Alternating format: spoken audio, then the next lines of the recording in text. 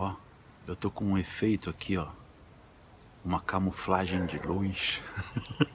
Olá, eu sou Renato Rocha Miranda, fotógrafo, e falo aqui do Criador Carioca, o seu estúdio no Rio de Janeiro. Mas peraí, antes de entrar a vinheta, eu queria dar aqui a dica dos livros de hoje. E o primeiro livro é esse daqui, ó, Ansel Adams, a câmera. O Ansel Adams, na verdade, escreveu a câmera, o negativo e a cópia. Esse livro é fácil de você encontrar, tá na editora Senac. E tem mais dois também que ele escreveu que não são tão conhecidos aqui. Um que é, é iluminação com luz natural e outro iluminação com luz artificial. Ansel Adams, eu não sei se você conhece, é um senhor fotógrafo. Inventou também a forma de você fotometrar usando o sistema de zonas, um sistema que você pode usar até hoje. Só que esse livro daqui, ó, você tem que ver com um pouco de atenção, que na verdade ele é o símbolo de um momento, de uma época de ouro na fotografia. Infelizmente ele morreu, mas a fotografia avançou e avançou muito. A tecnologia avançou tanto que alguns conceitos que estão aqui não são diferentes, mas eles podem ser absorvidos ou ensinados ou entendidos de uma forma diferente. A outra dica que eu dou aqui é o livro do Thales Trigo, professor, fotógrafo formado em física,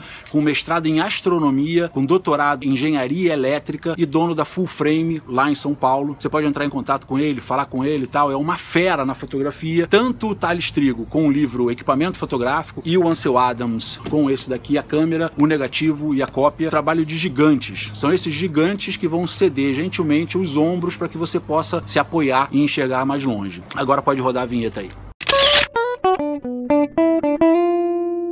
No vídeo de hoje a gente vai continuar com a saga das objetivas aqui. O último vídeo onde eu falava sobre isso, teleobjetivas achatam planos, ele vai aparecer aqui em cima. Se você não viu, veja. Um dos comentários que foram feitos pelos assinantes aqui do canal estavam realmente chocados. Falei, peraí, Renato, se não acontece o achatamento, a compressão dos planos, como é que você explica o efeito vertigo? O que, que é o efeito vertigo? Antes de explicar, eu queria que você visse o efeito. Roda aí.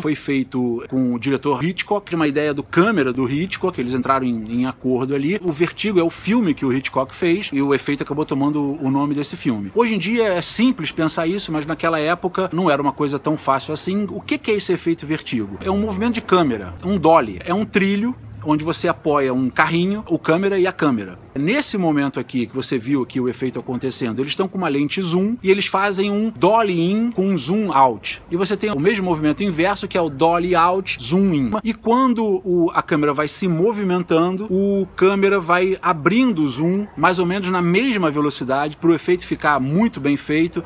É, a velocidade de abertura ali do zoom tem que coincidir com a velocidade do carrinho.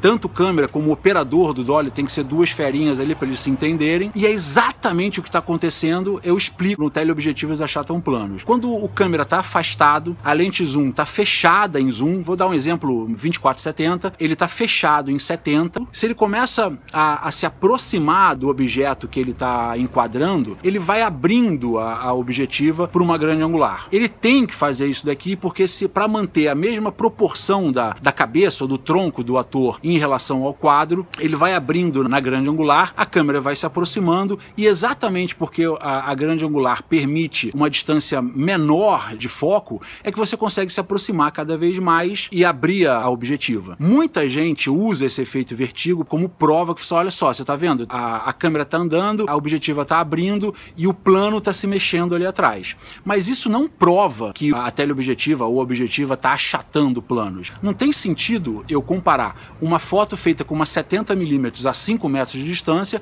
com uma 24mm feita a 50 50 centímetros a um metro de distância da pessoa. São duas fotos completamente diferentes. Para comparar corretamente, eu tinha que fixar a minha câmera, fazer uma foto em 70, sem mudar a distância que eu tô do objeto que eu estou fotografando, troco a lente, coloco uma 24 milímetros e comparo as duas fotos. É isso que eu estou falando que não tem alteração nenhuma. Se você der um crop mais fechado no 24 milímetros, você chega no enquadramento da 70 milímetros sem problema nenhum. É claro que na 70 milímetros vai estar mais desfocado lá atrás, mas a relação entre os planos, a distância distância entre os planos é rigorosamente igual. Eu já falei isso no outro filme, se você não viu, veja. Esse movimento, dolly in com zoom out, né, esse, esse efeito vertigo, é nada mais é do que uma quebra disso daqui, é uma brincadeira, é um outro truque que a gente faz para entreter a nossa audiência, para brincar com a audiência, para recriar exatamente essas surpresas, mas não prova achatamento de plano ou, ou distorção de lente, nada.